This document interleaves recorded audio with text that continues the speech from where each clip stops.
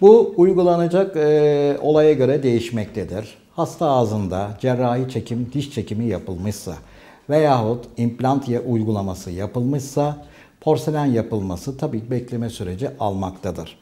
Bunun için de bizim en kısa yoldan uygulamamız geçici köprü sistemi yapılaraktan günlük hayatını, programını uygulamasında engel teşkil edecek olan estetik görünümü tatmin etmeye çalışmaktır. Bizim en büyük görevimiz o.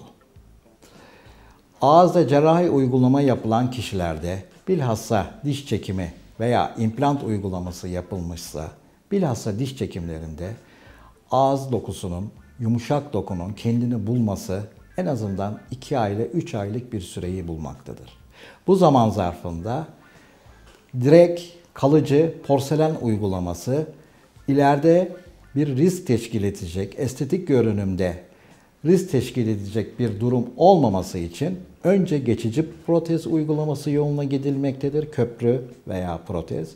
Onun dışında daha sonra yumuşak dokusu çekimden sonra 3 aylık bir zaman zarfında iyileştikten sonra esas nihai köprüyü yapılmaktadır. Hasta da o zaman mutlu olmaktadır.